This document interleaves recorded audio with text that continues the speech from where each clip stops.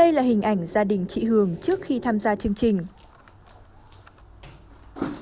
Đây là Cún, 6 tuổi, con gái lớn của chị. Cái gì? Cái gì? Lôi cái váy đồng phục xuống đi á Không, màu hồng Đấy không màu hồng nào Đi đi đi ra ngồi ăn đi đã Đi ra ăn đi đã rồi tí nữa mẹ mới lấy được chứ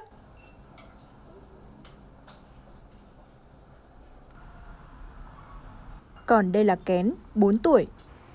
Qua miếng sườn không? Để mai làm món sườn xào rồi gặm nhá. Nhưng hôm nay nó rơi hết xương rồi làm gì có mà gặm.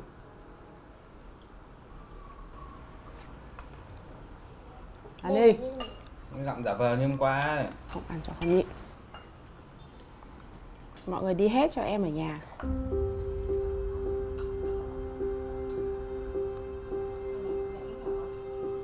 Có gì đó bực bội thường trực trên khuôn mặt của mẹ.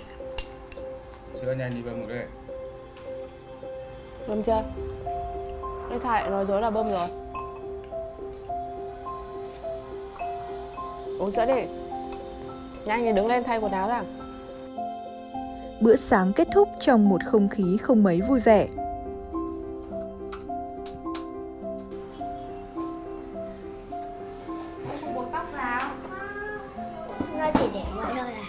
Không biết có phải do quá vội mà chị Hương đã vô tình không để ý đến khuôn mặt này của cún. Con ngồi thẳng hon lên xem nào.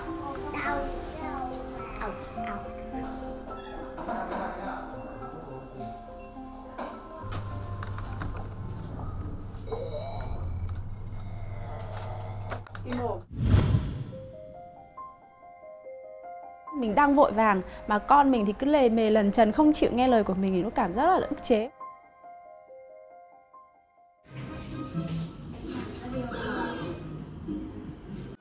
Dán mắt rồi đấy.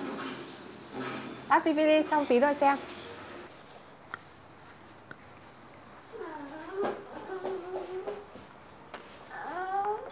Tí nữa.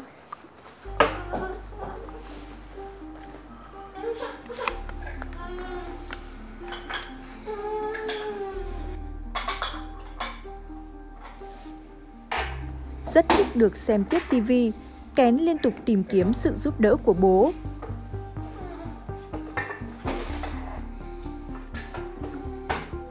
không xem.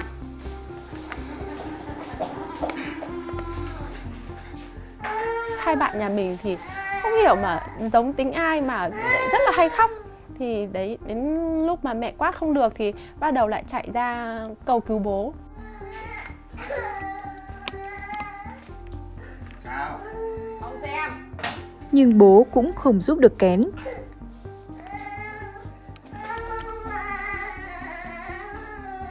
xem suốt từ lúc đi về giờ Không được đáp ứng nhu cầu xem TV của mình, Kén bèn tìm đến một niềm vui khác.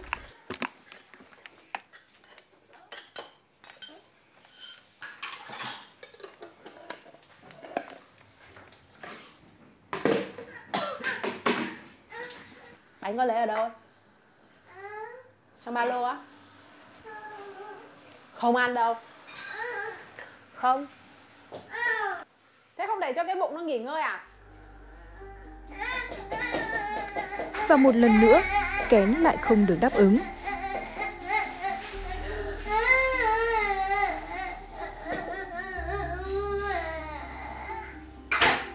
Không xem tivi, không ăn bánh và cũng không được khóc.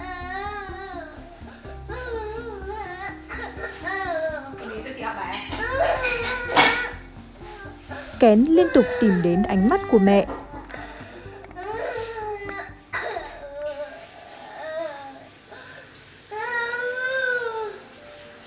Before she was um, angry right, for not seeing the TV, so she's crying because she's now sad that nobody is now, you know, uh, uh, uh, satisfy her needs, right? So she gets the food, right? And then she said, "Don't eat, stop crying." So all the emotions are being oppressed. And every time parents says no, no, no, no, no. uh, and right now, mother doesn't even look at her. And then what do you think is the result of that?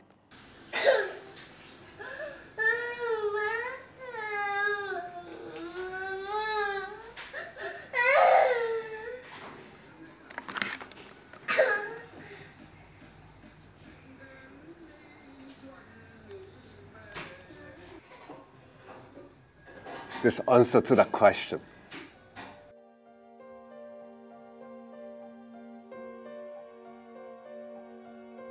I don't see any emotion in her face anymore. Heart. So when there is the emotional detachment, you know, break, then from child's point of view, her mother is no better than cook, no better than trainer, no human connection as mother and daughter. khi mà nhớ lại cái ánh mắt của của um, cái đấy đúng kiểu một ánh mắt của một người đang nhìn một cái vật thể xa lạ nào đấy chứ không phải là nhìn bố nhìn mẹ nữa